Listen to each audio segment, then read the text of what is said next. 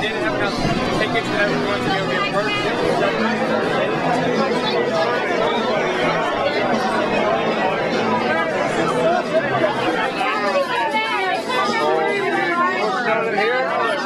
My name is Mark Robert Faldowski. I'm a second lieutenant in the United States Army. Uh, I graduated from West Point. I'm stationed in uh, Fort Sill, Oklahoma.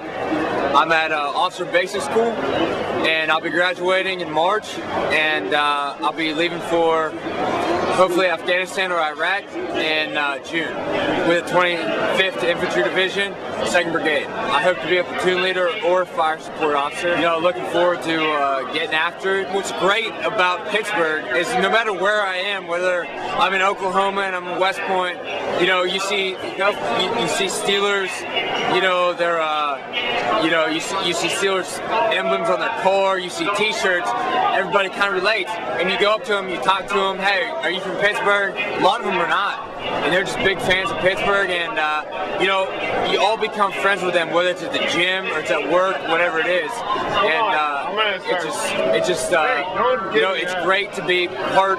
Whenever you're away from your family, to be a part of a family you can relate to. And You end up, you, you know, spending Sundays with those guys. And uh, you know, I am blessed that I'm able to come back to Pittsburgh, to my hometown.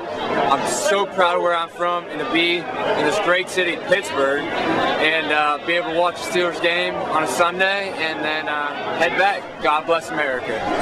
Go Steelers. Military, God bless you for protecting us. Thank you. Thank you.